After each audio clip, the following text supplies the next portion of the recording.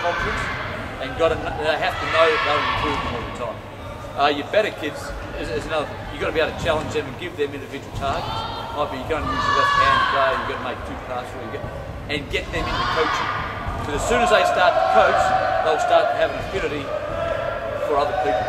When they play, it's all about me. I love our, all our guys to coach.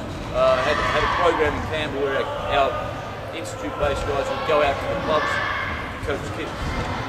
The other thing coaching does for really elite players is start, they start to think about solutions because they're in a position where they've got to come up with them as a coach. Oh, how can I make this play? They'll start talking about shot technique all the time. So rather than just having to go and practice shooting, they start thinking about it all the time. You become a much better player once you start coaching because you have to think about it for 10 players. So you basically times by 10 the amount of time you think about the game. You start coming up with solutions. Oh, what happens in bullshit? Well, how do I do that? Some of the some of the worst coaches are great players because they are just natural. They don't know how or why they do things, so they never go through the process of trying to work it out. And you see that happen a lot in, in every sport. Great player tries to step straight into high level coaching fails. Why? Well, he's, he's just better than everyone else as a player, so never has to worry about going back. What was the process to get me good this? Now, I wasn't a great player, I was an okay player, but not on a national. But I continually think, what did I do as a kid? And I, I did, as a kid, I didn't know what I was doing. Not just as a game, just through fitness and through agility. How did I get myself to the level I did?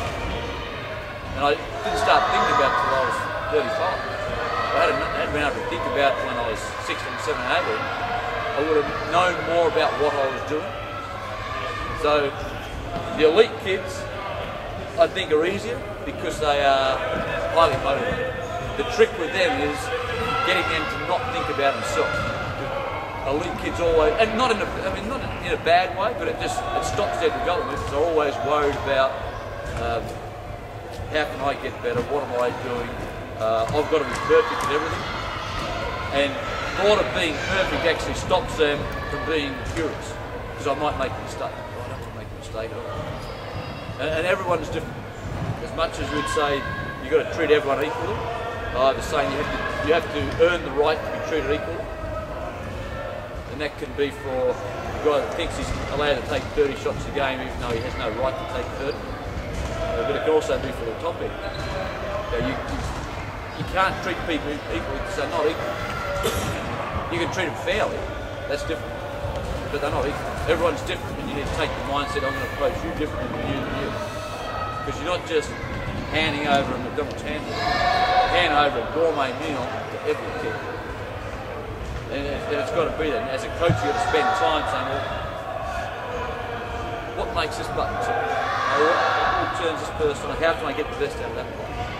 Uh, you probably come up in the school of you just listened to your coach and did what they said. As a player, that's certainly what I thought. And I thought everyone was doing the same thing little did I know, when I started talking to guys after we finished playing, I said, oh, I never did that. I mean, you didn't run all those laps, you didn't go and do your training diary, all that stuff. I assumed everyone was doing it.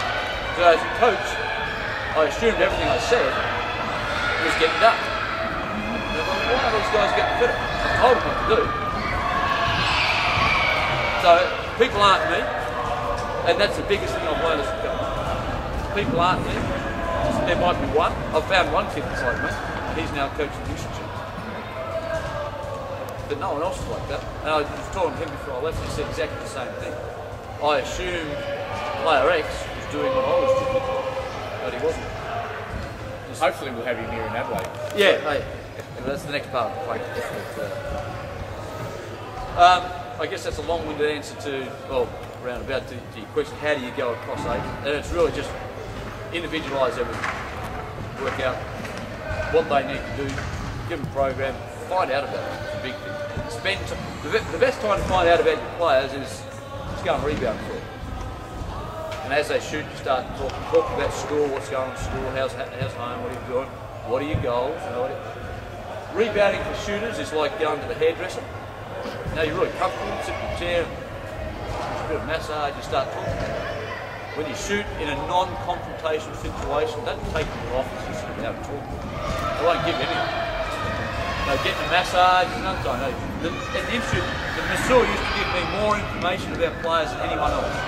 So they go in, they lie on a table, they feel really comfortable, and they just start talking. Oh, I'm really struggling with schools, bums, girlfriends, things.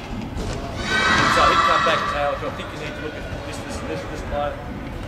I used him as a huge resource to get information back from the things that they would never come and tell me because I was like the head coach a big scary. Okay, so find someone in the community that has a really good. Yeah, and it, didn't didn't set out to do it. I mean, Rada just started giving information, and, and we, we did set up a program where we, we met as a staff um, weekly for those sort of things, just to find out more about the kids. Now, you, obviously don't have support staff, so it's really up to you. But find people that can give you information. Because I'll roll on here and you don't know what's happened in the week or the two hours or the five minutes before they got in here. And you'll expect them to operate at a certain level. And maybe there's some reason why they can't. And you know, once you get their trust, they'll do anything for you. Now, now I can have it right. Yeah. Why, why am I doing this? You know why I'm. Why am I doing this? Uh, one guy's got it. Yeah. That tank. One guy's got it. got it. Yep. Another was the other. So you forget most If I, had, if I hadn't written the first thing up there, well, and I said, what did Marty say the first, first thing? You wouldn't know. So no matter where you go, what clinic, any time you go to a meeting, it doesn't matter. You've got to take note. You don't go to class without your book. well, I'm a teacher. Kids come to class. I know, without I books did. and what pens. happens. What happens? What happens? I give them a pen. And Yeah, they, then they don't pass. And the more that we give them things, the more they'll expect us to know. So what I'd say is really important. You you got to write things, and I think I've got a super memory, but I wouldn't do everything out of an hour's while I'm talking. You just can't do it. So and you, and you shouldn't even try and do it. Pick the thing that really excites you and write that thing. So if you came out of the day with one or two things, you're one or two things better than you were before you came in. And when you talk to players, that's exactly how you talk. Don't try and get good at everything. Just get get really good at your left hand. We're going to spend the next six weeks just working left hand, and then suddenly they can do it. If you say get good at your left hand and at defense, then you've got to shoot a jump shot. You've got to go left crossover. You've got to box out the kids. Uh, Just can't absorb information. You know, as a teacher, you wouldn't teach that. You teach one thing, you get really good at it, and that builds confidence. Sport is about self-belief. But we've got to arm them with some tools, some skills, to be, be some learning styles of how to get confident. And how, how do you get confident? We get it by knowing you can do something well.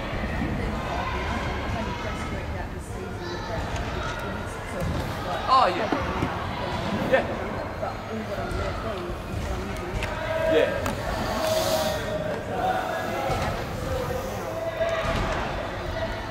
And, and, so, taken that long to work it out. and that's that's the shame of sport. Unfortunately, 35. Sorry, probably too late. No, but there's probably someone that could have been a star that just didn't work it out to that 35. Yeah. Uh, funny, we've had this conversation the last three days. Probably only the last four months, two years that I've really started to believe there's such a thing as confidence. We had a little chat yesterday, yeah. I actually just didn't think. I thought it was a, a crutch for people that, that weren't doing well. Just didn't believe there was. I never lacked self-esteem or confidence. So it comes back to what Marty was talking about with. Uh, I just thought everyone was like that. So, you know, and I suppose that separates the people that get to the, the top level. Is they just have a, an unbelievable self-belief. So I just couldn't, even when I was coaching, you know, up to two years ago, I was, why don't they just go out and do it? Out. And then it just, you get around different people and obviously you get a little wiser and it's a real thing. It's not a real thing, but it is a real thing in people's heads. Feel good about yourself. Yeah, and, but also that that comes back to getting to know your players because you don't know what's happening before they walk in the door. You know, you're dealing with kids that go through issues. And a lot of them are self-confidence issues. You know, bodies change. You the boyfriend dumped or all these all these sort of things. If you don't know those things, you can't coach appropriately on that day. And that's that's where coaching has changed a bit, but I don't it hasn't changed enough. As I said when I grew up, the coach was the be all and all. And you just did it. If he said run a thousand laps, you didn't ask any question, you just did it. Kids aren't like that. They are they're taught to question. They're not always taught how to deal with the response to the question that they don't like. And I think that'll be the next evolution of our education system. Questioning is good, but they, they do have to learn to hear no. No, you can't do it. No, that's not right. At the moment, I don't think we teach kids that very well. So we're giving them all these tools and confidence to question things. But if we said yes to everything they said, it would be an anarchy. And maybe the country's heading that way. Still look at the news. So you've got to teach them what happens when they say. I've got a seven-year-old daughter, and the phrase, oh, I'm not saying anything. When you don't get your own what do you say? Oh, well, next time. And that's my thing. And she is a. And I, the next seven years are going to be horrendous for. She's know, 10 weeks of pregnancy, so she's got a bit of fire in her. She's got three older brothers and she lives in a sporting environment. And she wants her own way all the. So your family will teach you how to coach as well. The people around you will teach you how to coach. Don't just think of it as I'm a basketball coach who starts and stops when walking through the door. What you really are is a parent. Just, you've had, well, I've had uh, 13 years of 13, 14, 15, 17 year old boys to parent every year. For those who've got 17 year old boys, know the challenges of that.